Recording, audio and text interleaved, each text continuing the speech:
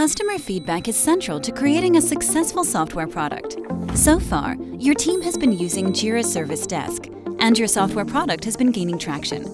But with feedback flowing in from multiple channels, product and software development, customer support, and marketing and sales teams, it becomes difficult to keep track of it all. And with no way for stakeholders to know about existing tickets, your team gets flooded with similar bug reports and redundant feature requests.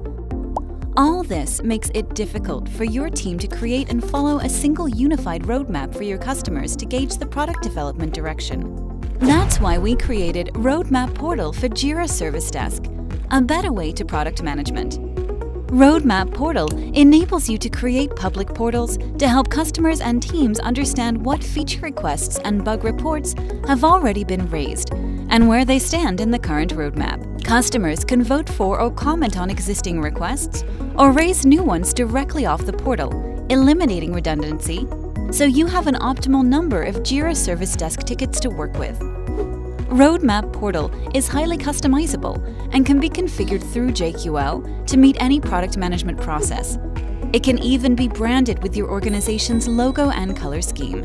You can automate roadmap management by linking roadmap items to Jira stories or bugs.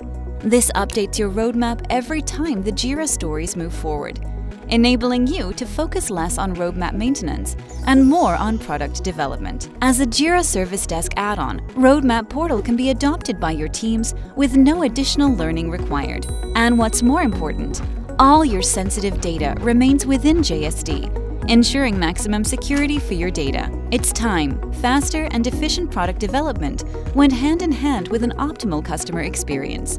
Start your free trial now.